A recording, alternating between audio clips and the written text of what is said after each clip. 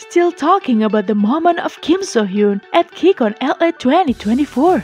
In the fancam video shared by the OP, you can hear a fanboy shouting Soowon and look at Soohyun's reaction.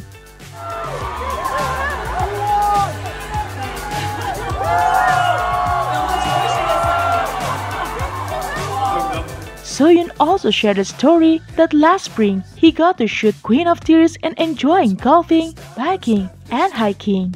운동을 하다가 So uh, this spring um, we wrapped up filming for Queen of Tears, and after that I was do I was able to do some golfing, some, like riding my bike. Hmm, he never misses chance to talk about golf and hiking. And fans are increasingly convinced that Soohyun is really picking up Jiwon's habits.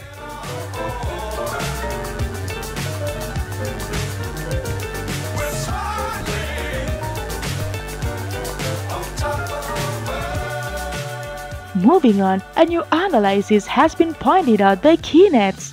They say that after taking this Kisin, Soohyun seemed to say something to Jiwon, which was next time it's real. 다음에는 진짜함. 다음에는 진짜함. What does this mean? What's real Soomen-ssi? This analysis become even more interesting if we know that during KCON, Soohyun mentioned that when he rests at home, he listens to IU's song through the night. 아이유의